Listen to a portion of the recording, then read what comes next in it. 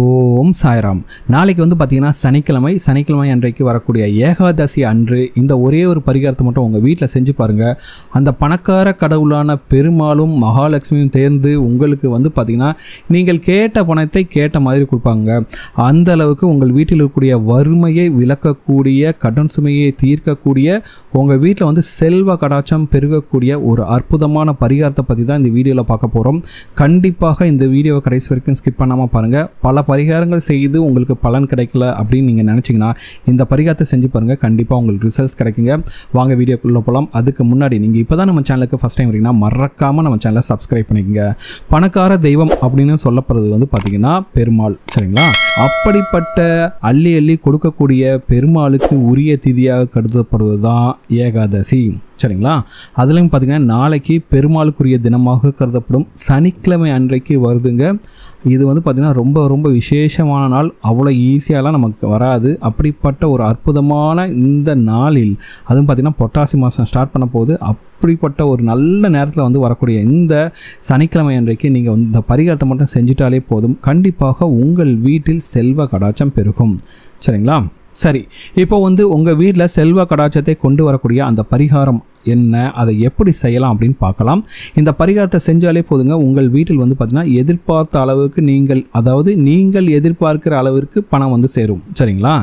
So இப்போ வந்து இந்த பரிகாரத்துக்கு என்னென்ன பொருட்கள் தேவைன்னு பார்த்தீங்கன்னா பச்சை கற்பூரம் ஏலக்காய் கிராம்பு. இந்த மூணு பொருளுமே வந்து பார்த்திங்கன்னா மகாலட்சுமி தாயாருக்கு உகந்த பொருட்கள் மற்றும் பெருமாளுக்கு ரொம்பவே உகந்த பொருட்களாக இருக்கும். சரிங்களா?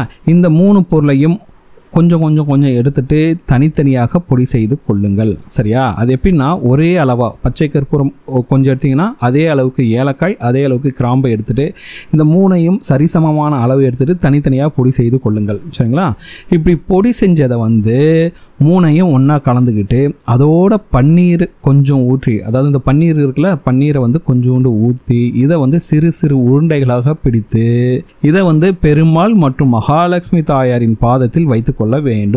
அதாவது உங்கள் வீட்டில் பெருமாள் மற்றும் மகாலட்சுமி தாயார் இருப்பாங்கள்ல அவங்க ஃபோட்டோ இருக்குல்ல அவங்களோட பாதத்தில் வைத்து விட்டு இதை வந்து என்ன பண்ணோன்னா எப்பவும் போல் உங்கள் வீட்டில் வந்து தீபம்லாம் ஏற்றி வைத்து விட்டு உங்கள் குலதெய்வத்தை எல்லாத்தையும் மனதார வேண்டிக் கொண்டு எல்லா சாமியும் வேண்டிக்கிட்டு பெருமாளுக்கு வந்து பார்த்திங்கன்னா இந்த பரிகாரம் செய்ய போகிற நாளைக்கு வந்து பார்த்திங்கன்னா துளசி மாலை வச்சுங்க சரிங்களா? கொஞ்சம் துளசி வாங்கிட்டு மாலையாக கட்டி அங்கே வச்சுட்டு ஓம் நமோ நாராயணா அப்படிங்கிற மந்திரத்தை உங்களால் எத்தனை தடவை சொல்ல முடியுமோ அத்தனை தடவை சொல்லிக்கலாங்க.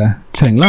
இப்படி சொல்லி முடிச்சுட்டு நல்ல மனப்பூர்வமாக அந்த மகாலட்சுமி தாயாரையும் பெருமாளையும் நல்ல மனசார வேண்டிக்கிட்டு உங்கள் வீட்டில் இருக்கக்கூடிய கடன் சுமையெல்லாம் தீர்ந்துட்டு உங்களுக்கு வந்து பணம் வந்து நிறைய வந்து சேரணும். உங்கள் சொந்தக்காரங்களாம் பார்த்து ஆச்சரியப்படுற அளவுக்கு நீங்களும் வீடு வாசல் நில புலன் காரு பங்களா அப்படின்னு இருக்கணும் அப்படின்ட்டு நீங்கள் மனப்பூர்வமாக வேண்டிக் கொள்ளுங்கள். அது போக உங்கள் மனதில் என்ன வேண்டுதல் இருந்தாலும் அது எல்லாத்தையும் மனப்பூர்வமாக வேண்டிக் கொண்டு இந்த உருண்டை இருக்குது பார்த்தீங்களா பிடிச்சி வச்சிங்களா உருண்டை.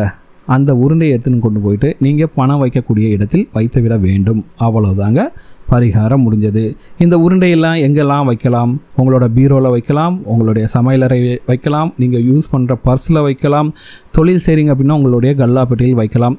அதே போல் முக்கியமான ஒரு விஷயம் உங்கள் வீட்டோட ஹாலில் அதாவது வரவேற்பறைன்னு சொல்லுவோம்ல அங்கே யாருக்கும் தெரியாத ஒரு இடத்தில் இந்த உருண்டையை மறைத்து வைத்து விடலாம். இப்படி நீங்கள் செய்கிறது மூலமாக உங்கள் வீட்டில் இருக்கக்கூடிய எதிர்மறை ஆற்றல்கள் அனைத்தும் விலகி உங்கள் வீட்டிற்கு நேர்மறை ஆற்றல் வந்து மேலும் மேலும் சேர்ந்துக்கிட்டே இருக்கும்.